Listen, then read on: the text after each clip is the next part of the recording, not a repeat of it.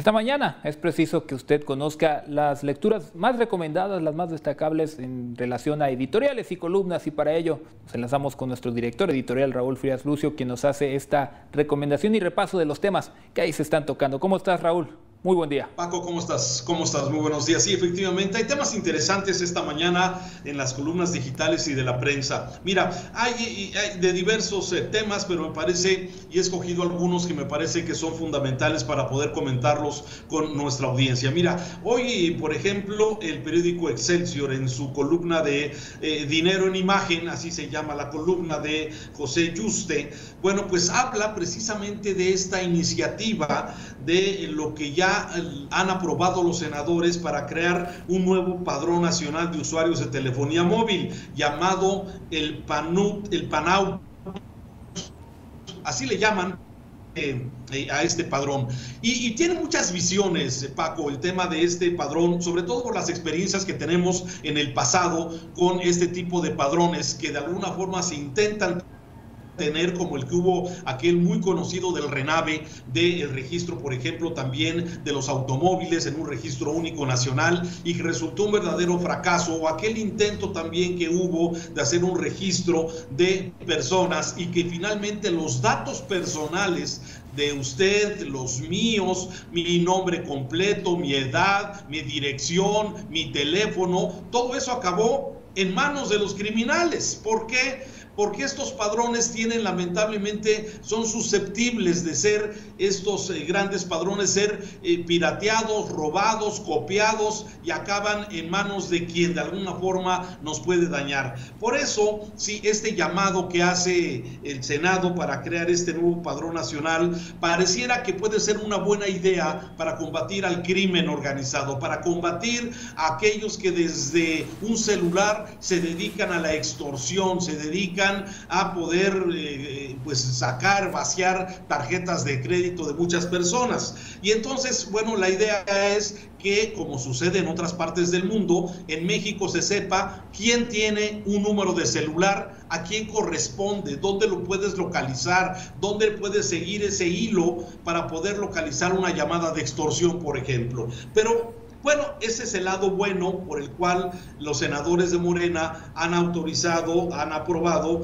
la creación de este nuevo padrón nacional de usuarios. Pero el otro lado, Paco, es exactamente el preocupante. En este país donde como deporte nacional se está delinquiendo, donde por deporte de alguna forma o por necesidad hay gente que se dedica a estar extorsionando, me parece un asunto de gran riesgo, como lo plantea José Yuste en su columna hoy de dinero, precisamente en el periódico Excelsior. Pero hay otra que también me parece interesante y habla de las gasolinas. Y me refiero a la columna de Enrique Quintana del periódico El Financiero. Él dice la realidad de los precios de la gasolina. Y aquí luego del análisis que hace el periodista en economía, sí hace llega a las siguientes conclusiones. Los precios de las gasolinas efectivamente no han subido en un costo real desde que empezó la administración del presidente López Obrador, pero a un costo alto por el subsidio que se le tiene que estar dando a este diferendo de precios que se da entre eh, los precios internacionales de la gasolina y los precios que hay en México. En términos reales, no ha habido un incremento más allá de la inflación, pero a costa de identificar ingresos fiscales que se le tiene que estar metiendo para mantener el precio como lo ofreció el presidente López Obrador. Y es que, bueno, en esas ideas que de alguna forma hay en este gobierno, sí, la idea de mantener el precio de las gasolinas es un tema más de ser prácticos es una idea de un simbolismo de que él cumple las promesas que ofrece. Esto es parte del análisis que hace interesante Enrique Quintana en su, en su columna de El Financiero. Finalmente, termino con una columna del periódico Milenio de Ricardo Rafael, Politizar el resentimiento. Muy interesante, Paco. Aquí habla de este proceso de expropiación que inició o que publicó ya el gobernador del estado de Baja California del Club Social y Deportivo Campestre de Tijuana. Tú recordarás que este es tiene una historia.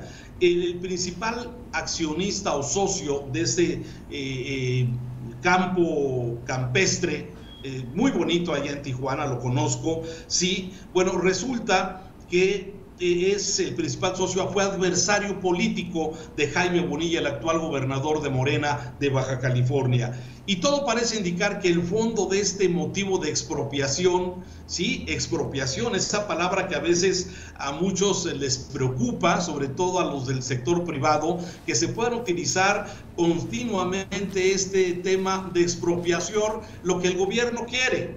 Tú recordarás aquellas frases de expropie, expropiese del señor allá en Venezuela, ¿sí? del comandante que a él no le gustaba algo y expropiese. Bueno, Jaime Bonilla parece que está haciendo esto allá en Baja California y esto ha levantado pues desde luego la atención, la preocupación de muchísimas personas porque, bueno, dicen este señor en un pleito político de adversarios políticos se atreve a expropiar un club campestre con el argumento de que en Baja California, en Tijuana, hay pocas áreas verdes y que, bueno, pues esto va a ser para crear un gran parque en beneficio de toda la comunidad en Tijuana. Un asunto de alto riesgo, un asunto que puede resultar contraproducente para el mismo Bonilla, pero ya veremos qué pasa con este tema de la expropiación de este campestre allá en Tijuana. Temas interesantes hoy en las columnas que les he comentado esta mañana, Paco.